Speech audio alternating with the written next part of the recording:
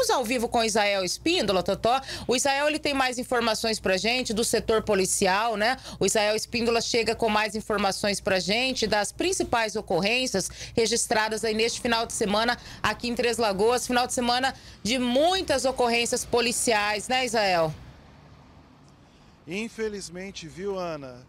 Infelizmente, um final de semana aí de feriado prolongado, Dia das Crianças, Nossa Senhora Aparecida, mas foi marcado aí por violência aqui em Três Lagoas. E agora vamos falar de estupro de vulnerável. Este caso que aconteceu por volta das 23 horas e 20 minutos do dia 12 de outubro, ou seja, no sábado, onde uma criança de 4 anos foi violentada. E de acordo com as informações do boletim de ocorrência, né?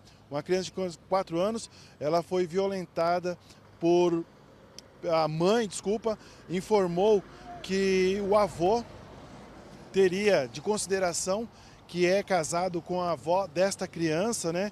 Quando retornaram, foi dar banho nessa criança em momento que ela notou que essa criança apresentava dores nas partes genitais dela e ela acabou descobrindo então a filha reclamou, inclusive, dessa vermelhidão na parte genital e disse que teria sido este homem, né, que é o avô de consideração, que teria abusado da criança. Ana, infelizmente, mais um caso de estupro de vulnerável, uma pessoa dentro da família, né, um avô por parte de consideração, teria abusado desta menina de quatro anos.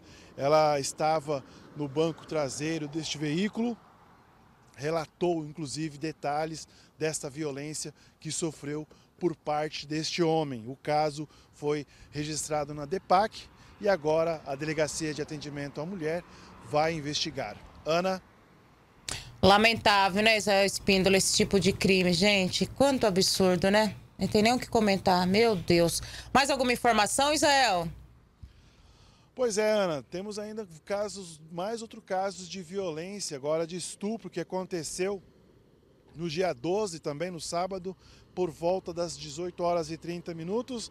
Este caso que foi registrado aqui em Três Lagoas. A vítima é um homem de 16 anos e ele acabou informando para a polícia que ele estava. É...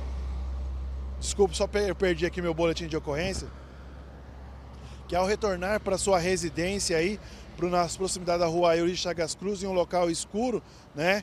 Que autores estavam em um veículo de cor branca, dois indivíduos fizeram ameaças a este rapaz de 16 anos, falando para ele entrar dentro do veículo, foi forçado aí a ter relações sexuais por cerca de 30 minutos e aí foi abandonado nas mediações e este caso também foi registrado na Delegacia de Pronto Atendimento Comunitário, Ana. Mais um caso absurdo desses que a gente até duvida de como pode acontecer esse jovem de 16 anos que foi abordado por dois homens em um carro de cor branca no sábado. Ana Cristina.